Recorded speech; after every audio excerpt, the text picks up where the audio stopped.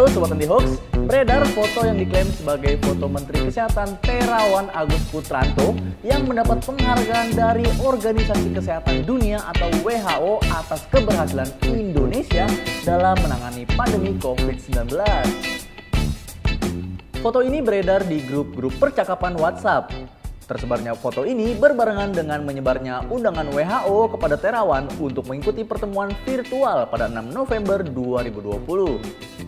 Namun, benarkah foto tersebut merupakan foto Menkes Terawan yang mendapat penghargaan dari WHO atas keberhasilan Indonesia menangani pandemi COVID-19? Mari kita cek faktanya.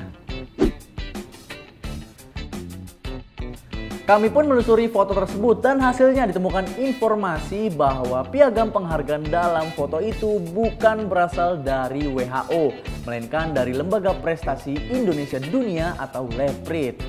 Penghargaan yang diberikan LEPRID itu pun tidak ada kaitannya dengan keberhasilan Indonesia dalam menangani pandemi COVID-19. Foto yang identik pernah dimuat oleh situs media sindonews.com dalam beritanya pada 21 Juli 2019 dengan judul berikut. Menurut media tersebut, Leprit memberikan penghargaan itu ketika masih menjadi Kepala Rumah Sakit Pusat Angkatan Darat atau RSPAD Gatot Subroto, Jakarta.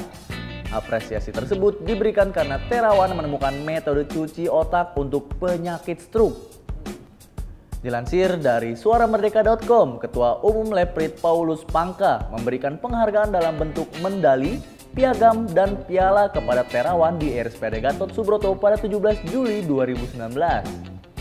Terkait undangan WHO, undangan itu bertujuan agar Menkes Terawan menghadiri pertemuan virtual pada 6 November 2020.